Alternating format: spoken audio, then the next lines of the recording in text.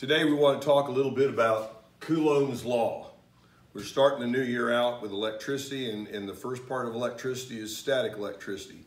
And Charles Coulomb determined or discovered the relationship between force and charge and the distance between those charges as a constant that we call Coulomb's law. And so let's write that formula on the board.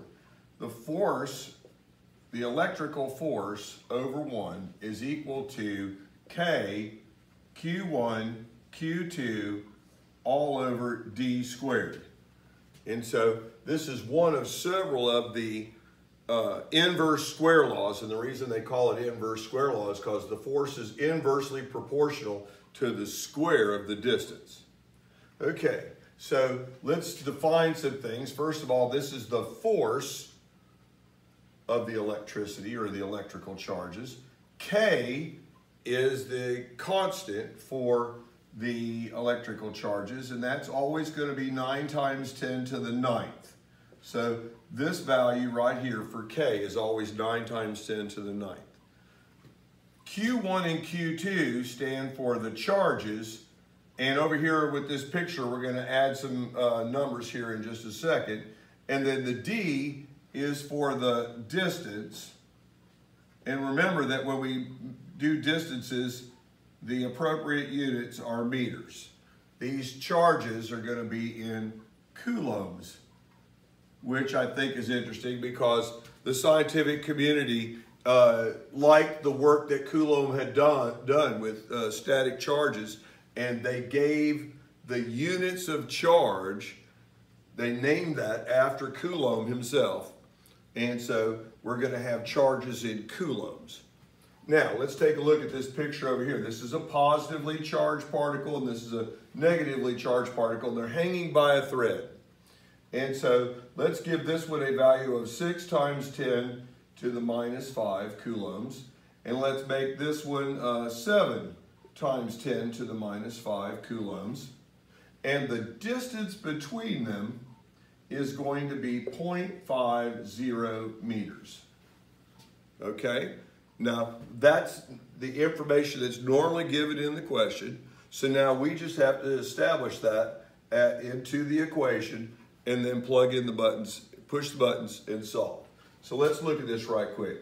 The electrical force over 1 is equal to 9 times 10 to the ninth times 6 times 10 to the minus 5 times 7 times 10 to the minus 5, all divided by 0.50 squared. That's squared. There we go. That looks a little better. Now, one of the things that I talked about with my students, and I think that, that you should look into this as well, depending on what calculator you're using, is that we want to enter these in scientific notation. And so when we do that, we, we use the double E button, which stands for that exponential uh, expression on the calculator. So when I type this in, let me change colors right quick. When I type this in the calculator, I'm going to type 9 time, or excuse me, 9 EE 9. When I do that, the EE right here represents that times 10 part on the calculator.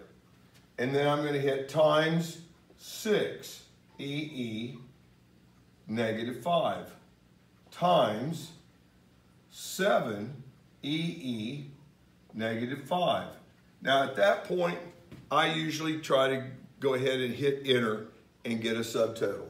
So 9 EE9 times 6 EE negative 5 times 7 EE negative 5, enter.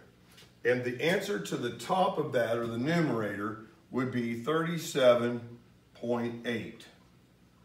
Okay? And that's still got to be divided by 0.5 quantity squared, like that. Now, if you know what, you could do this in your head. 0.5 squared should be 0.25. if you do, if you you're not trusting in this, you, you run it on your calculator right quick. So we've got 37.8 divided by 0.25. 37.8 divided by 0.25 equals 151, 151.2, and the units are going to be in newtons. Does everybody understand what we've just shown? Now, one of the nice things about uh, Coulomb's law is that, and what we just worked was we solved for the force. But if they, this array, this equation can be rearranged algebraically and you could solve for the charge, you could solve for the distance, or you could solve for the force, depending on the information that's given. But pretty much, this is how it's set up. This is how the problem looks when you uh, are writing it onto your paper or when you get it on a worksheet or something like that. If you have any questions, contact me. Thanks for watching. Have a great day.